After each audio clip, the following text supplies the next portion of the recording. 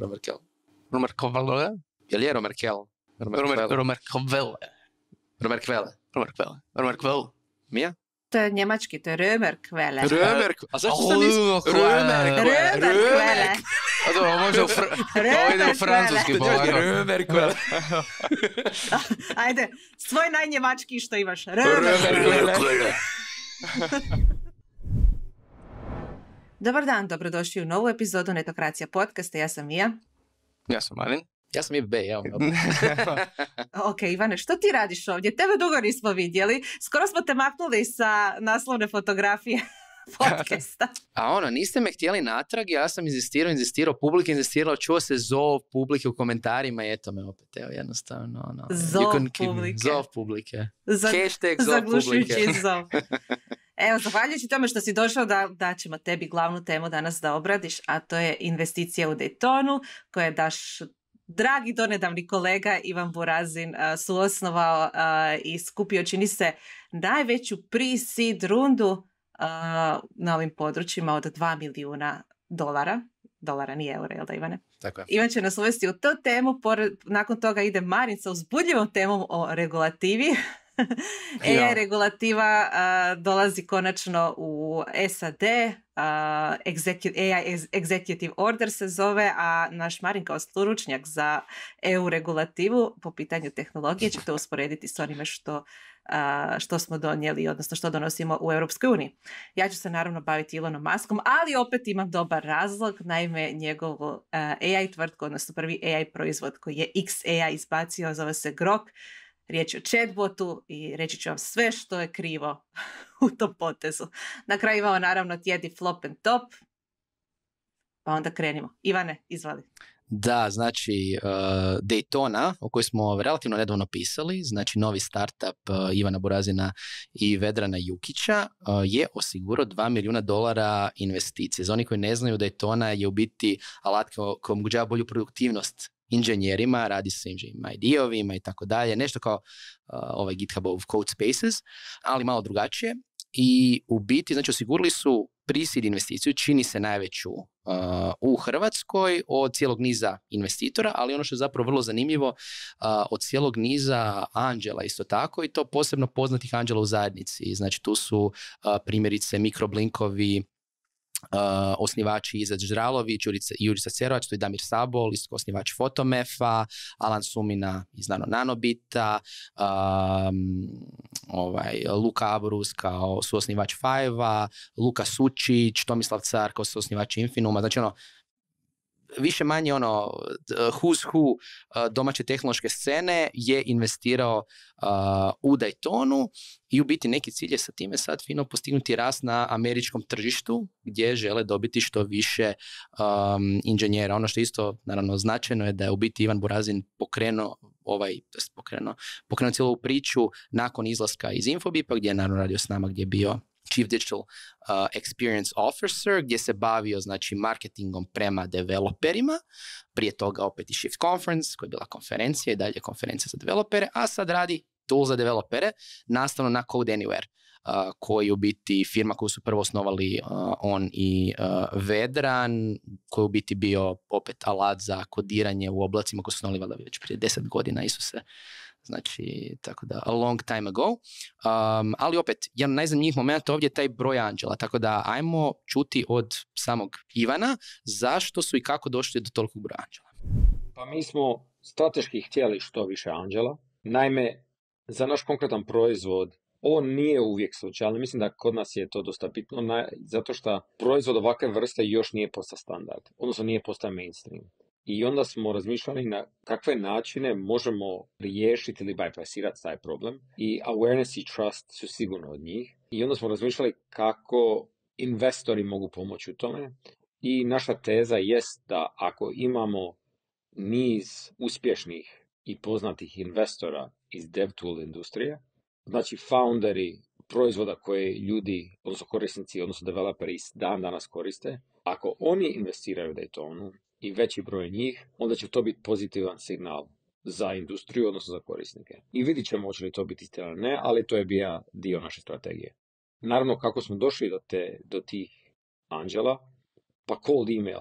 Ja dosta često ljudima kažem da koriste cold email, um, bilo za konferencije prije sales ili sad um, kad smo rezali rundu i ljudi ne vjeruju zato što kad zamišljaju cold email, oni zamišljaju nekakav spam lista koji vi pošaljete i niko vam ne odgovori. I sad, ako vi pošaljete takvu email randomly na 100.000 adresa, neće vam nitko odgovoriti. Ali ako vi imate listu curated ljudi koji imaju slične afinitete i vi imate kratku i jasnu poruku koja je vezana za njih i njima nudi nekakav value, vjerujte mi da će vam oni odgovoriti. Moj nekakav ratio kada pogodim poruku, jer naravno ne, ne pogodite uvijek, je nekakav 30% da ljudi replyaju. Ne 30% da uspije sale, investment ili što već, ali da replyaju je 30%. Ja mislim da je to dosta veliko i tako svakako bi preporučio svima, ne samo startupima koji žele raisat, nego i u prodajnom smislu, da se ne boje cold email. Da, da, znači e-mailovi rade kada spamirate, ne spamirate u smislu stotne tisuća, nego pojedince i um, opet ne znam, mislim da je ta poruka značajna za domaće i startupe i osnivače i ljude u firmama, cimajte ljude, samo ono lijepe, ono personalizirane poruke, ne generične, ne, ne znam za vas, znači da u zadnje vrijeme posebno preko LinkedIna dobijam ono generične edove gdje doslovno ih odbijem jer kao what's the point, a kad netko lijepo napiše, aha, kontaktiram te zbog toga i toga, trebam to, možeš pomoći, super, evo, ova investicija je dokaz da se to može. I mi za definitivno drugi neki lesson je ovo što Ivan rekao, a to je treba imati taj društveni neki dokaz. Treba imati dokaz da je alat dobar, u ovom slučaju to su investitori. I to je, evo, jasan razlog zašto ih ima toliko, a to je svaki od njih je u biti glas za kvalitetu da je to je da kad opet i Ivan i njegov tim idu negdje prodavati tu, možda neki enterprise, već imaju neke ono velike klijente, doslovno može vidjeti, aha, CTO prati tog i tog lika koji je naš investitor. Ha, mogu name dropati, fino i evo, već će biti uh, lakša, lakša neka konverzacija. Ne znam što vi mislite o tom pristupu. Ja se slažem, samo bih htjela spomenuti još nešto. Spomenuo si domaće angel investitore, nisi spomenuo strane. Mislim da je važno da njih istaknemo. između ostalog tu su, sad ne znam, vjerojatno ću krivo reći neka imena, ali isprike na tome. Abinav Astana, osnivač Postmana, Charity Majors, uh, osnivačica Honeycomba, inače poznata po tome što zagovara Deploy petkom. Christian Bach su osnivač Netiflya i Prošanta Čendariskar, CEO Stack Overflow Overflowa, stvarno zvučna imena iz svijeta developmenta, stvarno dobri zagovaratelji nekog novog devalata i zanimljivo, mnogi od njih su i nastupali na developerskoj konferenciji Shift. Reći ćemo da je to slučajnost. da, joj, nekako poznati ljude, pingati ih i tako dalje. tako da, osim cold mailova, možete organizirati i konferenciju i doći do ciljane skupine. Tako da, svaka čast razinu odličan potez da, da. I ostatku ekipe, naravno. Da, definitivno ono bulletproof tehnika. Da, mislim samo je pitanje toga da treba raditi očito svaki dan. Do što je rekao, znači prođa samo za to da se ljudi jave 30%. Što znači da ti trebaš slati jako puno mailova. Ali mislim da je to istina za bilo koji oblik prodaje nešto čega se domaći founderi opet, ne morate imati tehnološku firmu poput Daytona, vi možete imati agenciju, vi možete imati bilo koji tip biznisa, javite se ljudima, ono, iskreno, direktno i mislim da će se, ćete se iznenaditi na reakcije. Tako da, ono, opet sretno i vedrno Ivanu dalje s firmom. Da, ja bih se još vratila na temu uh, angel investitora ovih domaćih. Uh, konačno se događa Ivane ono što si najavljivao i priželjkivao godinama da se stvara ekosustav uspješni osnivači koji su imali određene egzite, sada imaju uh, sredstva da ulažu u druge tehnološke osnivače i smatram to jednim odličnim krugom i jednom potpuno novom generacijom startupa kod nas. Ali mislim da je to ono što je tu ključno što opet nije pitanje ni para. Pitanje tog legitimiteta, da oni sad imaju kapital neki mogu uložiti i moraš imati kapital, znači nije samo pitanje da ono prođeš pamet, ali oni su taj smart money. Znači s jedne strane su dokaz kvalitete, s druge su ljudi koji će pomoći svojim savjetom, svojim networkom, kapital je tu jedan element, ali to je baš to što si rekla, to je taj anđelski ekosustav koji dolazi, gdje nažalost prije, iako smo imali anđele koji su htjeli pomoći tehnološkim satima, u dobroj mjeri to su bili ljudi koji nažalost nisu imali iskustva s tehnološkim firmama. I onda nisu ni mogli tu pomoći, dok sad ovo su sve tehnološki poduzetnici, znači ljudi koji opet vide poantu, vide vrijednost u tome, um, ne znam, to je, to je jedna dobra priča i baš me zanima kako će se to um, dalje razvijati po pitanju, jer ono što zapravo je sad pitanje opet tih, opet super anđela, VC, ono, founder-led VC fondova, mislim da je tu najbliže možda ono SQ Capital gdje je uključen recimo Ivan Klarić i slični. uh I jedna tema koju ću imati kasnije, a to je primjerice ono, ljudi koji uh, egzitaju su velike tehnološke firme, pa uđu u VC, pa čak uđu u politiku, ali opet, spoiler za polako, polako Ivane, doći ćemo do kraja epizode. Uh, Marina, imaš li ti što reći još o angel investicijama ili prelazimo na politiku? Joj, uh, sam se već neko vrijeme bavio investicijama, ne znam što bi imao posebno za nadodat, osim da bi uvijek slušao, joj, nije baš lijepo vrijeme za investicije. And this economy? da, upravo to. Tako da može... Ali in this economy vrijeme je za regulaciju tehnologije. Mi smo, uh, Europa je počela, a evo, evo sada i Amerika to pokušava napraviti istu stvar. Uh, s time što je Biden potpisao AI Executive Order. Kod Amera to uvijek zvuči puno opasnije. Znači nije ono tipa zakon o nečem, nego ono it's an executive order. Da, Ne, kod nas je onako AI Act, direktiva, kao onako... Ovo je ravno i Star Wars. biste. Executive Order 66. order. da, da, da. Sve ćemo, Engage. svim ćemo AI startupima odrezati glavu. da. Ili u lijepom prevodu izvršni nalog. Znači, poanta osigurati... Koliko su tamo, ko, sorry, koliko su tamo divlji startupi, doći ćemo do toga kasnije, mislim da stvarno nekima treba executive order. Znači, poanta je uh, ostvariti potencijal AI-a, ali i upravljati rizicima, znači ista stvar koju želi napraviti i uh, Europska unija, ali opet ima tu nekih ima nekih sličnosti, ima naravno i različitosti a jedna od zanimljivih stvari je što američka vlada zahtjeva da sve tvrtke koje razvijaju, kako su to napisali, moćne AI sustave, moraju podijeliti s američkom vladom rezultate svih sigurnosnih testova prije nego što uopće izađe takav jedan AI na, na tržište. Dok, na primjer, Europska unija želi imati, razvija sandboxove gdje se ti, ti sustavi mogu sigurno testirati, ali Europska unija nije definirala i će oni sada pregledavati sve to u detalje i koliko oni tu zapravo mogu jako stisnuti tvrtke i reći aha, ovo ne, i koliko duboko mogu uzimati sve njihove podatke. Da, znajući američku, američku ovu administraciju, koliko su oni zapravo da slobode svojim firmama, to ono pitanje da će, da vide te rezultati slično, ono, kao je, jesam ti da, go play. Da, da, da. I ukoliko funkcionira. Skeptičan sam, skeptičan Kao, koliko to pomaže američkoj vladi od 1 do 10? Ko, koje sve vlade možemo, možemo utjecati s tim? A, cool. o, cijeli svijet, može. Oni su, zanimljivo da su oni stavili uh, u, taj, u svoj izvršni nalog, to da ne smiju, ne smiju nastajati sustavi koji mogu proizvoditi biološko ili nuklearno oružje. Oh, wow. Da. Neko, neko na GPT-u. How to make a nuclear bomb. pa to, su se ograničili. Drago mi je da su povukli crtu negdje. Ali evo, uh, uopće ne spominju ništa u vezi zaštiti privatnosti biometrijskih podataka, što uključuje skeniranje lica, dok to naš AI Act pokriva.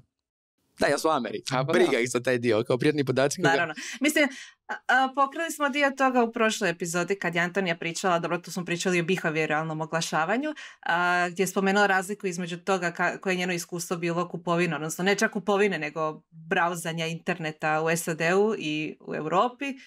u SAD-u dok je bila, znači bila je samo na jednom web shopu, nije ostavila nikakve podatke, nigdje upisivala ništa, može stavila nešto u košaricu, ali nije kupila na kraju da bi dobila vrlo brzo mail, hej, nešto, nešto čekate u košarici ili neka posebna ponuda. Dakle, da podaci su tu i koriste se. Kako su oni došli do njenog maila ako ga ona nije nigdje ostavila, pitamo samo Ameriku. A, tako da i biometrijski podaci bilo koji drugi, uopće nisam iznenađena što nije obuhvaćeno ovim aktom, odnosno executive orderom u SAD-u, jer je to čine osnovice njih, nekih njihovih proizvoda. Baš me zanima, recimo, ako će se razvijeti AI u tom smjeru gdje opet u SAD-u nije toliko, nisu zaštićeni podaci i sad već vidimo da dosta iako Americi vrijeme hejte u Europu kao ograničeni smo, la, la, la, ovo, ono. S druge strane, jako puno Amerikanaca se žele doseliti zbog nekih drugih benefita životnih. Da li će jednom trenutku životni benefit biti, a ok, u Europi kao AI ne zna sve o meni. Kao, lijepe su plaže, ne radite po cijele dane, ali znate kaj AI ne zna baš sve o meni. Pa, mislim, e, Europa je stvarno tu napravila ogromne iskorake. Sjetimo se prava na zaborav. Kada ono tražiš Google da zaboraviš što je nešto objavljio o tebi, što je stvarno može biti i dobra stvar, može biti i negativna ako pokušaš skrivati neka, neka kriminalnu prošlost. Točno to što si rekao. Sasigurno će biti benefit nekima iz raznih razloga. Onda dotaknuli su se još i AI generiranog sadržaja. Oni bi htjeli to sve watermarkat, tako da budu sigurni što je napravio AI, što nije. I ono što mi je zanimljivo, oni bi htjeli stavljati watermarkove na zvukove, tako da budeš siguran jel te zove stvarno ta osoba koja te zove ili je to glas napravljen uz pomoć AI-a. I onda bili su primjeri gdje, gdje kao predsjednika su doveli negdje i rekli su, i pustili su mu njegov glas nazad, pa onda on bio what the hell, that's not me. Znaš, Mhm. evo, zabrinuti su. Što se tog tiče, ali, Kako prestrašiti 80-godišnjaka? Da, sam reci AI. A, to je dobro ime za YouTube video. A čekaj, te, a je watermark isto zvuk, tipa ono, E, ide to- nešto i onda kao, "Ah, E, da, da, da, nije definirano, ali evo, Ivan u piću za kako watermarkat zvukove. Molim patentirati. Odlično. Tražim investiciju, molim se i ovim, koji su bili, uh, Cari, tako dalje, to. ajmo. molim, molim Angelis. Da. Ako dobijete cold email od Ivana, budite uvjereni da to doista šalje on, a ne njegov chat GPT. Osim ako čujete. "A, Da, to su te neke najsočnije stvari bile, ostalo je bilo ono, ah, zaštita Amerikanaca, da, da, da, da. Tu nisu ništa, nešto posebno baš rekli, ali... A Amerikanci će sami sebe zaštititi, Da. ne treba njima. Imaju da, oni zaštiti. puške, Da. pištolje, samo će vaditi, AI će pobiti. Opusat kompjuter i tako to. Strašno mi je zanimljivo, znači, s- koliko su jasne razlike između europskog i američkog mindseta u samo jednom dokumentu koji bi trebao praktički istu stvar uređivati. Nevjerojatno. Ja jedva čekam da se AI počne, da se Skynet jednog dana kad nastane, počne, počne opravdati to. Ne, ne, mi smo se naoružali, ali to su our, šta je, First Amendment rights. Mislim, come on. Don't take our guns away. Da, ili to ono Second Amendment, da, da, da. Second Amendment, koji vrijedi Da, još da. ono iz doba kada su postale kremenjače, kako se, kako se zvala. Neka druga vremena. Da. Bitno da je validan e, propis. E da, i on, ako sam još dobro shvatio, znači ovo je izvršni nalog i on vrijedi e, za sada samo dok je Biden na vlasti. Što znači da to mora proći kongres, da se to usvoji i da to funkcionira. Zanimljivo. Da. A dobro, oni imaju drugačiji tu Dobro, kad isto dođe, sustav. kad, kad, kad dođe Trump. Da. Zabrani sav AI možda. Dakle, da, to nam je od AI-a. Nije to sve od AI-a, nije to sve od AI-a, nikad nije dosta AI-a. A, u biti sam htjela kratko samo napraviti intermezzo s još jednom AI temom koja je dosta zanimljiva, možda ćemo u nekim narednim epizodama bolje a, obraditi, a to je da je ChatGPT predstavio App Store manje više sa svojim e, GPT-ovima, odnosno e, AI agentima, kako se to naziva koji će biti dostupni kroz e, GPT Store, odnosno trgovinu AI agentima. znači o čemu se radi? Radi se o tome da to će vjerojatno utjecati na cijeli, AI ekosustav što se tiče kreiranja startupa i tako dalje. Dakle, koji god vrstu nekog AI-a trebate za određene svrhe, moći ćete ga kupiti kroz taj store i moći ćete ga isprogramirati da funkcionira sukladno vašim potrebama a, bez znanja programiranja, što su jako naglasili. Dakle, koristeći prirodni jezik, moći ćete reći tom svom AI agentu što želite od njega. Recimo, želite stvoriti svoj chatbot a, koji će se trenirati samo na određenim vrstama tekstova i tako dalje. Sve ćete to moći da, na- napraviti davanjem uputa svom AI agentu. Želim postići to, to i to, na temelju toga i toga. Dakle, morat ćete dobro znati prompt engineering, ali ne nužno i pravo inženjerstvo da biste kreirali svog chatbota. Mislim da je to velika stvar, ne znam koliko će to sad biti obuhvaćeno ovim AI executive orderom, vjerojatno samo što se tiče sadržaja, ali da sad svatko može kreirati nekakav chatbot na vrlo jednostavan način e, bez poznavanja tehnologije u pozadini, meni to velika stvar. I nekako mi se čini da smo sve bliže onome da je pravi taj Web3 koji čekamo nis- nije možda blockchain kao što se naziva, nego upravo ovo. Znači da će cijeli internet biti temeljen na nekoj vrsti AI, odnosno LLM-ova. Ali to, ne znam, to mi je, možemo šire i dublje o toj temi nekad drugi put. Ne znam kako se vama to čini. Mislim da će biti. Možemo testirati svaki od LLM-ova i vidjeti šta možemo. Apsolutno. IBB chatbot in, in making. A, kad smo kod osoba sa velikim egom koji, koji su napravili svoj chatbot. Tvoj najdrži čovjek na svijetu. Moj najdrži čovjek na svijetu, Elon Musk. Se sjećate kako je htio stopirati a, razvoj AI-a na šest mjeseci, pa su mnogi posumnjali u njegove pobude koje stoje iza toga. A, čini se da su bili u pravu jer on je naime radio na AI tvrtki cijelo vrijeme u pozadini. Prije četiri mjeseca je još lansiran XAI, naravno, wow. I sada prije nekoliko dana prvi proizvod chatbot Grok. Ako ne znate što je Grok, uh, trebali, biste, trebali biste bolje poznavati SF uh, kulturu. Znači to je autor Robert A. uh, Heinlein koji je uh, u 1961. u svojoj knjizi Stranger in a Strange Land uh, formirao pojam groking ili grok kada nešto shvaćate, znači kada ono nešto dubinski shvaćate, you grok it. Tako da grok je chatbot koji dubinski shvaća sve, a treniran je na Twitteru, odnosno X-u, na sadržaju s Twittera.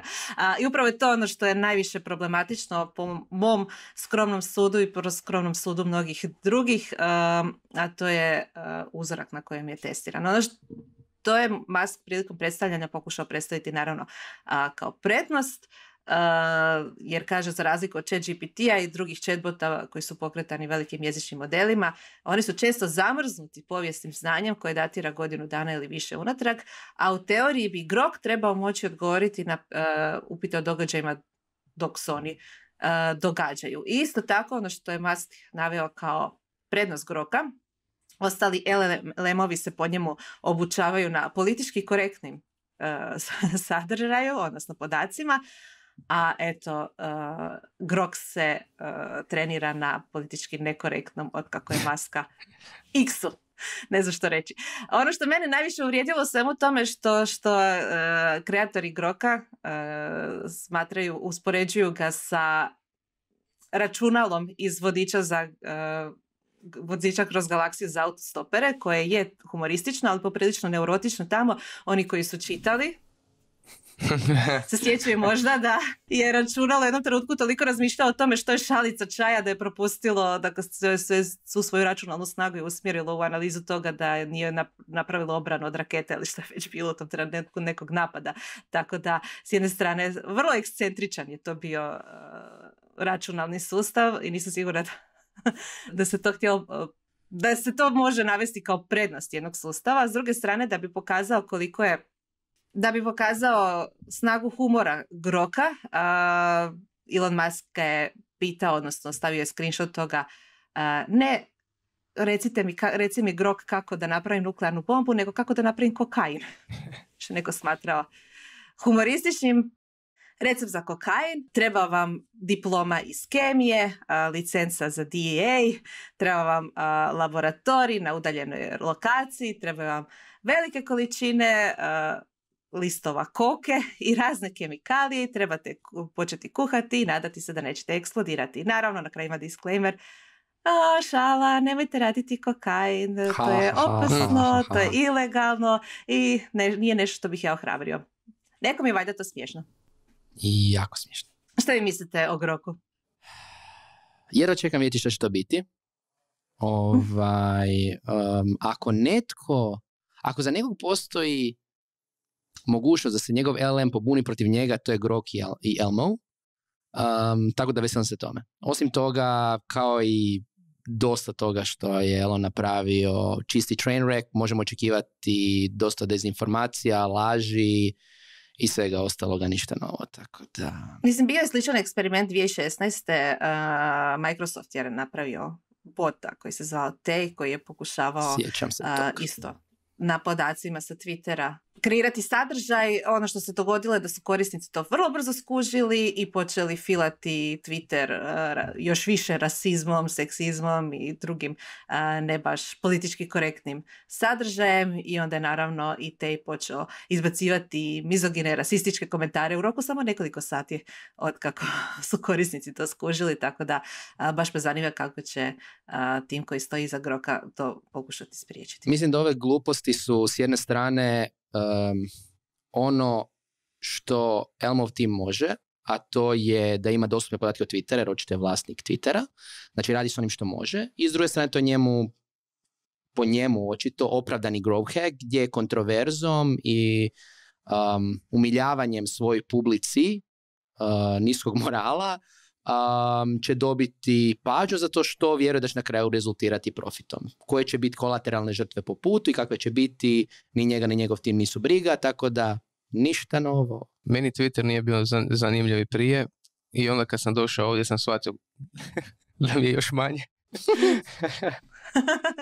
Ti si siguran, Marine. Ali evo, izazivam te da pitaš Groka kako napraviti nuklearnu bombu. No, ajde Pa da da vidimo. vidimo što će reći.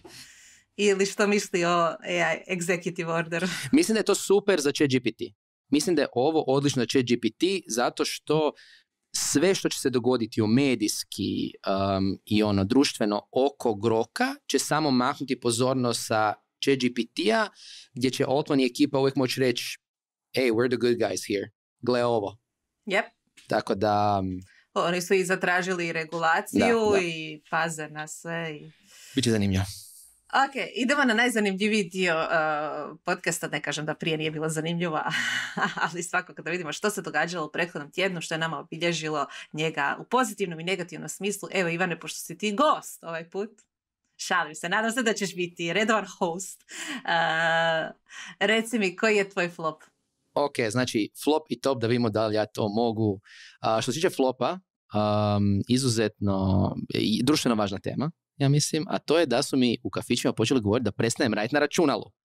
Znači već u dva kafića, u jednom su mi rekli da aha, nemoj molim te raditi baš za stolom, nego eno imamo tamo na baru mjesto, a u drugom, gdje sam bio neki dan, sam doslovno na dvije minute išao otvoriti laptop da pošaljem neki mail. Znači nije ni poanta bila da idem raditi, ali ono lijepo je došao gospodin i zamolio me kao, e, ajde, nemojte raditi tako da. I sad, zanima me šta mislite o tome. Meni uh, je flop ne to da me traže da uh, ne radim u njihovim kafićima, naravno u restoranima se ne radi to, nego činjenica što većina, uh, čini mi se, bilo kafić ili restoran, nema jasan policy oko toga i ne znaju kako se tome prilagoditi, nego je ono kao, a nemoj, pa ovo, ili ove varijante gdje jednostavno ti stave gdje nije udobno. Jer iz mog nekog razmišljanja je nomadska publika, publika IT-evci slično su vrlo poželjna publika, a trošit će pare, B, doći će često, lojalni su i tako dalje.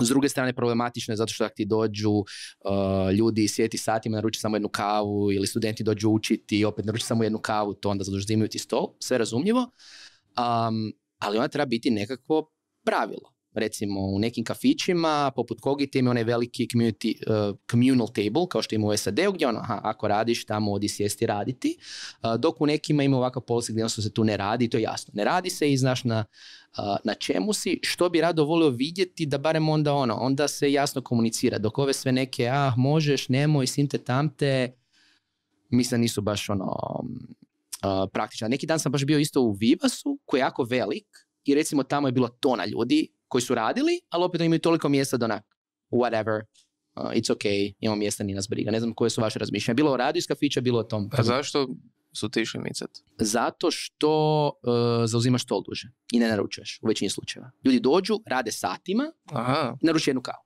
da, da. da. Da, ono Ivan što si rekao, ti si kažeš da je da su digitalni nomadi poželjna publika, nisu. Kafićima su poželjna publika, oni koji dođu popiju kavu, sok, negazirani iz očitih razloga, koji ćemo, ćemo kasnije pričati, a, i odu u roku pola sata 45 minuta. Ako otvoriš laptop, očekuju da ćeš ostati bar nekoliko sati tamo. Ali da, to što kažeš problematično je to što je nejasna politika.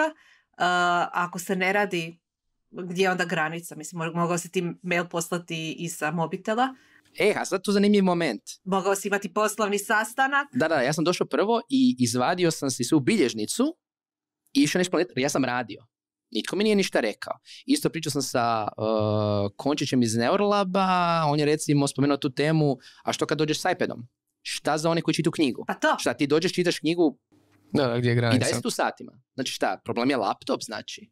A mislim, Da. gdje je problem? Mislim da proaktivna komunikacija negdje na vratima bi trebala biti, molim vas, ne možete sjediti za laptopom duže od sat vremena i aj bok. Ma naruči kavu, šta god, ne može tu sjediti satima, nego ako sjediš satima, sve pet, samo naruči dvije, tri kave ili kaj god. I to je okej, to tak treba Ne, ali biti. ne, ne, ne, odgovara, ne odgovara ni da sjediš nekoliko sati bez obzira na to koliko pića naručio. Poanta je da bude brži protok ljudi, a ne da neko prolazi vidi, aha, ovdje ljudi sjede, rade, zauzeto i tako dalje. Ali nije li u našoj kulturi sjediti, nije li u, našim, u našoj kulturi, na, na stranu, znači čak ljudi um, ne čitaju, nisu na laptopima i tako dalje, ali nije u našoj kulturi upravo to sjedjenje satima u kafićima. To je ono što je kontradiktorno, slažem se. Kažem, što da si na poslovnom sastanku i to isto rad, sjedit ćete, svako će popiti jednu kavu, pričat ćete sat vremena i otići. Koja je razlika između toga nego da imaš recimo ne znam, video poziv u kafiću. Što je isto sastanak. To sjećam prvi put kad sam bio u New Yorku uh, i išli smo na večeru, neki mali, neugledni suši restoran kao i onda me upozorila osoba s kojom sam išao kao, e, ali imamo kao 45 minuta. Toliko može biti tamo na večeri. Jer, opet, njima je vrlo ono, fluktuacija ovo, gle, ne mreš sjediti. Da, da, da. Ali to nije u našoj kulturi. Kod nas nego dođe i kaže, ili znam da je recimo R&B food u Zagrebu isto kao kaže, e, imaš dva sata. I to je jedno gdje sam čuo da netko kaže ti imaš slot i onda kad. Možda je okay. Ima mjesta, ima mjesta Da, koji, da, da. koji to kažu. Tako da to je flop, Ali to je super, to je proaktivna komunikacija. Nije flop da ti brane, nego da jasno kažu prije nego što sjedneš i otvoriš laptop. U svom slučaju to je flop, volio bi da jednostavno ekipa, kao što si rekla, Mija, proaktivno to komunicira. Nisam imao takvo iskustvo, ali dobro, ja sam opet imao pristup, mak- a, sjest ću i odradit ću ono što mogu brzo, unutar pol sata obaviti. No, no. Ali ne sada baš session imat. Ne znam, jesi ti išao s tom namjerom ili? U ovom slučaju ne, ali imao sam situaciju u kojima, i imam situaciju dalje ovih dana kada ono, dođem i negdje radim, a to je većinom slučajeva isključivo su kafići gdje sam redovit gost i onda zato što im redovito inače dolazim, onda mi oproste taj jedan put u mjesec dana kad dođem, ja sam cijeli dan, ali onda isto se trudim proaktivno, onda mi kao popet za sat vremena ono, u, veći, u dosta slučajeva su isto mjesto se može jest, pa ono, aj, mamam ti sandvič, ono, potrošim pare. Da, da. Uh, I uvijek se negdje makne da ono, single table i te stvari. Mislim, jednostavno, s jedne strane kafić treba proaktivno uh, komunicirati, s druge strane, ono, isto mi kad sjedamo onda da isto razmišljamo o tome. Doslovno pitat možda, ono, je li vam ok? Ako nije ok, dobro, ne znam. Možda previše kompliciramo, ali Ne, naišla sam na podatak negdje da digitalnih nomada valjda u svakom trenutku u Hrvatskoj ima nekih 10 tisuća. To, to nisu samo oni koji imaju vizu digitalnih nomada, jer to su osobe koje nisu građani Europske unije. Oni moraju dobiti posebnu vizu, njih ima ne znam, nekoliko stotina, tipa petstotinjak u svakom trenutku u Hrvatskoj, ali ovo su ljudi iz Europske unije koji dolaze tu prolazu raditi, eh, živjeti neko vrijeme, vjerojatno ih je više po ljeti nego u zimskim mjesecima, tako da zamislite 10.000 ljudi mora od nekud raditi. Dio ide u coworking prostore, snađu se, imaju i svoje Facebook grupe gdje dobivaju informacije, vjerojatno se dijele informacije o tome u kojim kafićima je prihvatljivo raditi i tako dalje. Tako da eto, to je, to je trend trenutno i ugostitelji se svakako trebaju prilagoditi ponudi za njih, pa makar to bilo nemamo ponudu za vas, niste dobrodošli, to je to. da, i sve jasno i biti spreman na to. A što ti je top? E, Top je jedna osoba koja neće vjerojatno sjediti toliko po kafićima raditi, ali je moguće. A, znači, Vasil Terzijev, a, koji je inače bio gost Netokracija podcastu pred neko vrijeme, kao a, jedan od partnera u Elevenu, poznatom bugarskom fondu, a inače je osnivač Telerika. Telerik je, za one koji ne znaju, ono, jedna od najvećih bugarskih tehnoloških firmi, koja je a, znači negdje 2010-ih a, prodana, odnosno egzitala američkom Progress Softwareu za a, četvrt milijarde dolara, znači 262 milijuna dolara, rekord za bugarski tech sektor, znači radi se o doslovno najuspješnijej najuspješnijem tehnološkom poduzetniku u Bugarskoj, on je postao gradonačelnik Sofije, glavnog grada. Što opet bilo je šok kao a zašto bi to htio raditi i dva da je na kraju uspio. Znači on je zaista, što se tiče tog nekog tehnološkog područnog sektora, s jedne strane, Čekaj, čekaj. Hoćeš reći da je to slično kao da Rimac postane gradonačelnik Zagreba ili Svete Da. nedjelje? da, da, da, doslovno, doslovno da Rimac postane gradonačelnik Zagreba um, i voj se oko robotaksiju ovaj, ili u Neveri.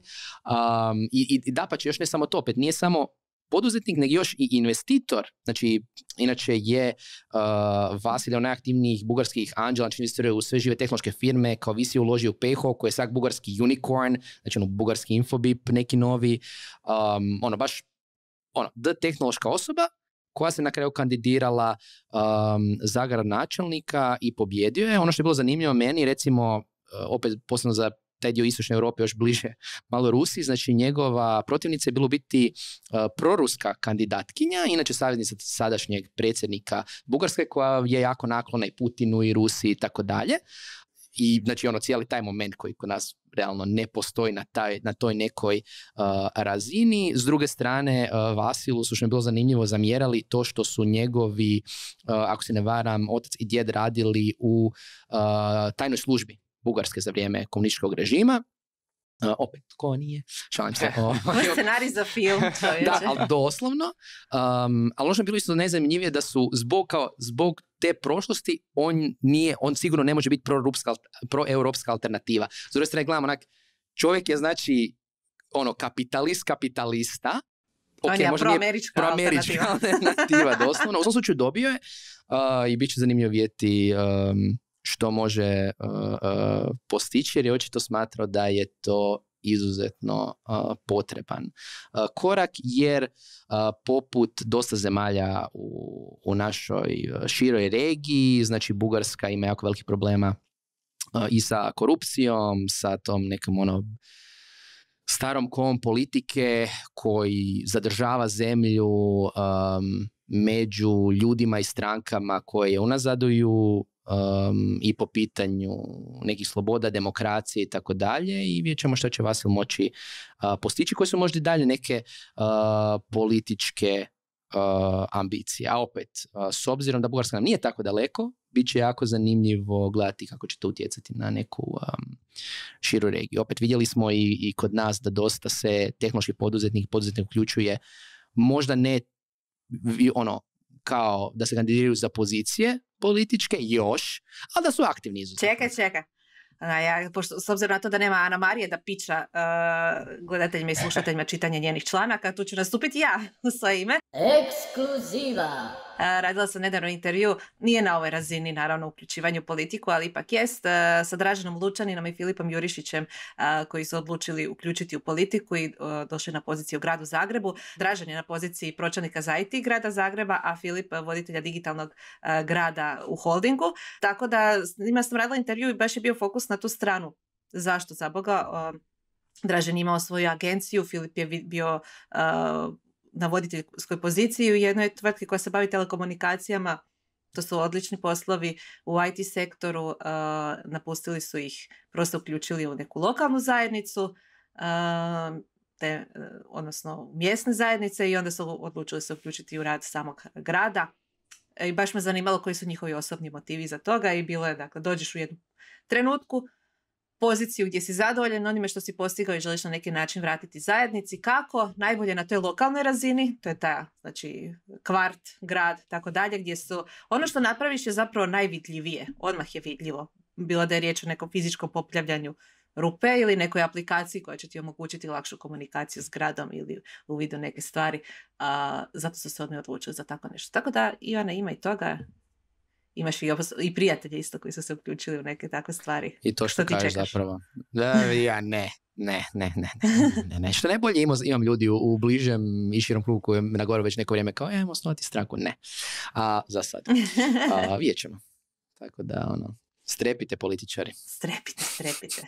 A ja strepim od fake newsa, što je moj flop uh, tjedna ali ne od fake newsa koji širi fake news, nego fake newsa koji širi real news. Konačno ljudi dogodilo se to, forvarduše na Viberu i drugim buberskim uh, mjestima su postale istinite. Ja to smatram ja to smatram smakom svijeta. Znači ovo je ono jahač apokalipse.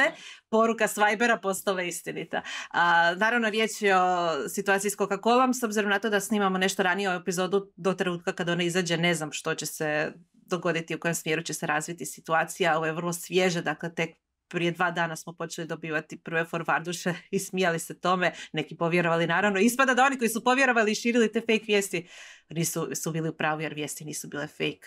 Doista ima nekih problema sa bočicama a, gaziranih omiljenih pića svima, ne znam iako baš evo da sad čitam da je ministar Beroš najavio da nisu sve stvari istinite koje su se dijelile i da će provjeriti ko stoji iza širenja tih lažnih vijesti, ali čovječe ne sada. Sigurno će izbaciti neki natječaj i platiti nekome da napravi aplikaciju da to provjerava.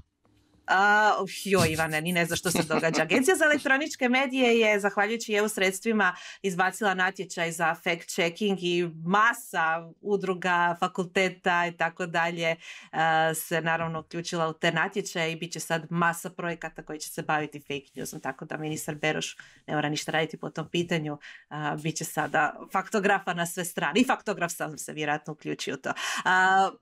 Inače, ako se ispostavi da su neke informacije lažne, onaj koji ih je proširio i koji širi bi mogli odgovarati da širenje lažnih vijesti. Kazna može biti do 4000 eura i zatvor.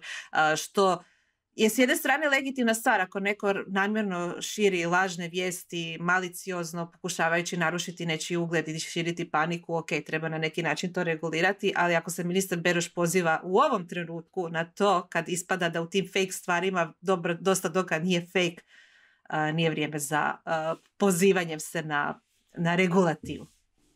Poraz, poraz, to je sve što ću reći. Poraz. ja se osjećam poražen. Još, još sam bila kod frizerke i ona meni kaže, joj, si vidjela kao nešto Coca-Cola. Rekao, daj, molim te, ono fake news forvarduša kakvih ima milijun.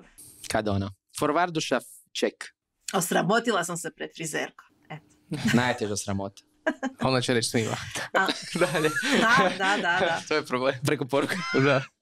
Top vijest koja je mene pozitivno iznenadila, iako sam je donekle i očekivala s obzirom na to na uspjese posljednjih mjeseci, to je da Nintendova zarada konačno skočila. Glavni krici za to su Nova Zelda i Super Mario. Film prvenstveno, nadam se da će to imati dobar utjecaj na igre, jer evo, ja sam veliki fan Super Mario serijala i posebice novih izdanja. Zadnje što sam igrala je Sparks of Hope, odlična igra za sve generacije preporučujem. To je moje, moje dijete uvelo u svijet strategija, dakle to nije običan platformer gdje ideš i samo ganjaš novčiće i ubijaš gumbe. A, nego je, mora se i strateški razmišljati e, koje poteze povući u bitkama i kako riješiti neke zagonetke, slagalice i tako dalje, baš, baš jako dobro. A što se tiče Zelda, Tears of the Kingdom, znači igra, igra nad igrama. Ako niste igrali, što čekajte? e, nikad nisam bio fan Zelde, ali... Znaš što je fascinantno kod zadnje Zelde? Što? Nikom nije jasno kako je Nintendo uspio napraviti tu igru za Switch. Kao developerima nije jasno kako fizika funkcionira na tako malom uređaju koji je zapravo slab jako. Ne? Istina. Tako da, fascinantan pothvat.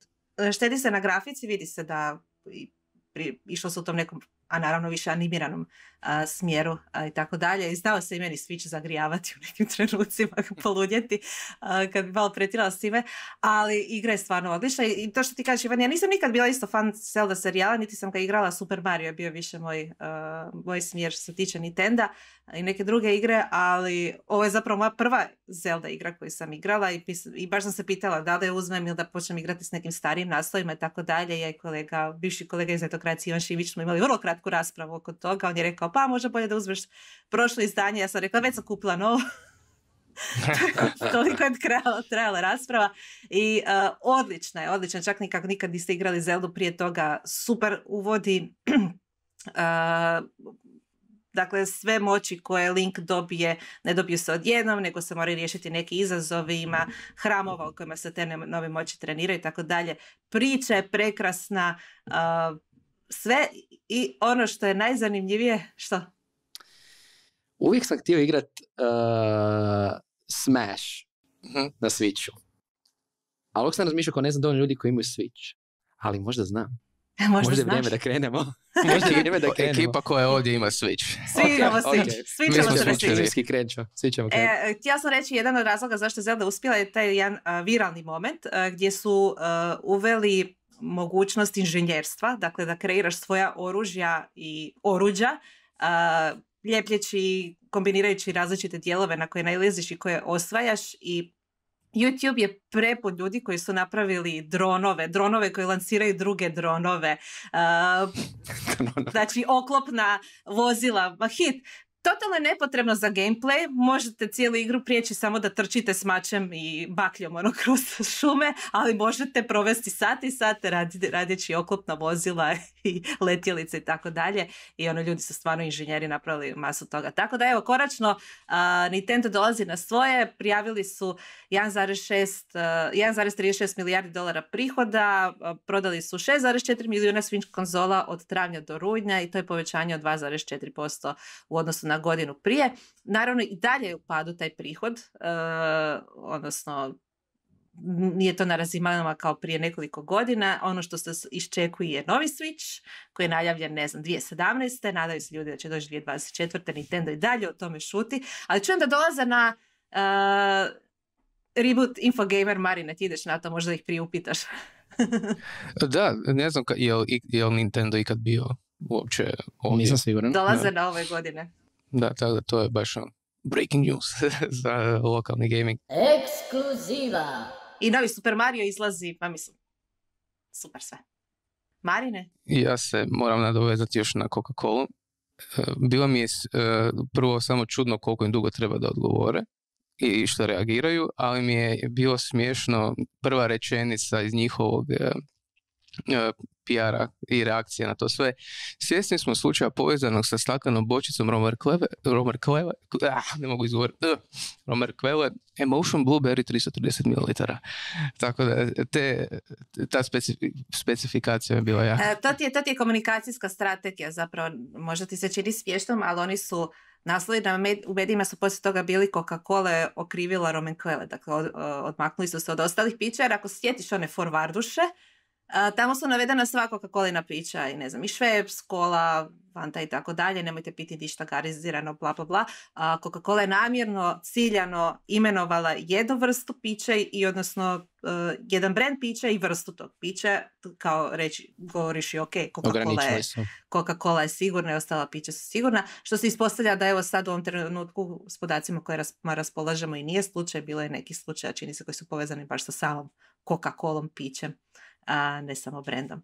Tako da komunikacijski ta strategija je bila jako dobra, zakašnjela reakcija, apsolutno se slažem, e, svi komunikacijski stručnjaci su se čudili kako, zašto šute toliko dugo i kako je neko rekao, a, sva sreća da Coca-Coline a, biznis ne ovisi o komunikaciji na lokalnoj razini jer ne bi bilo dobro inače. Baš sam žedan. Si za nešto Da. gazirano? Da, ali ta priča se zarolala još puno prije, čak je govorio da u svibnju su već počeli biti tekst, jed, nek, tu i tamo neki tekst o tome, jer nisu ni tada evo, reagirali. S obzirom na to da je bio jedan slučaj i nije bilo sigurno je li povezano s čašom ili bočicom i nije se imenovalo o kojem brendu je riječ, nije se zarolala u medijima toliko, ali evo, hvala Bogu na forvardušama putem Vibera, Whatsappa, ne znam ti više divnim signalima. Boomeri su spasili dan. A, a što se tiče top stvari, Sorry. Ja sam jako sretan što sam otkrio da mi je voli Switch, to mi je glavni top, jer nisam to do sad znao. A drugi top mi je uh, Suvi Memorabilia. A, znači to su likovi Ček, koji... suvi je ono za kuhanje. A, ne, ne, ne, ne. Kao skraćeno suvenir, Suvi. Ej. A, rade, Suvi, mali suvi. rade magnetiće na kojima su QR kodovi i sada uh, to žele povezati s nogometom i onda ti skeniraš QR kod i možeš vidjeti snimke sa te specifične utakmice na kojoj si ti bio. Sada, da, je- kužim tu reakciju, ali mislim da ima Cool. potencijal u smislu, na primjer, Ana Marija je rekla, njoj bi to bilo odlično da postoji za koncerte. Jer to bi, jer, jer poanta je ovoga zamijenit će karte. I onda ljudi to skupljaju i nekim, evo, sigurno fanovima nogometa bi to bilo odlično, mislim za imat. Ne. Ali ček, za- čisto za lokalno podneblje, je li ima snimke isto okršaja Torcidi BBB-a ili? Aha, i, e, just može saying. to ono, ekstra footage. Extra footage, to je ono premium, extra Da, da. premium. R-rated edition. Da. Neko bi platio. Netko bi platio.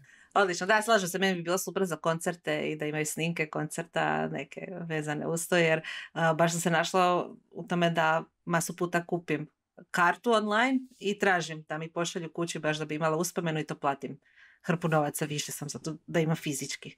Um, jer kako ćeš drugačije zapamtiti da si bio na koncertu? To je to od mene. To je to od našeg tjedna. Uh, hvala ekipa na flopovima, topovima i super temama koje ste donijeli. Uh, ja vas pozdravljam. Naravno, prije nego što i vi odete, preplatite se putem YouTube-a i pratite nas putem svih aplikacija gdje se mo- može slučati podcast. Sada smo samo mi autori ovog podcasta, ne koristimo AI ni Groka, niti išta drugo.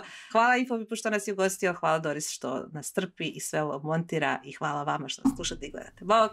Ćao. Ćao.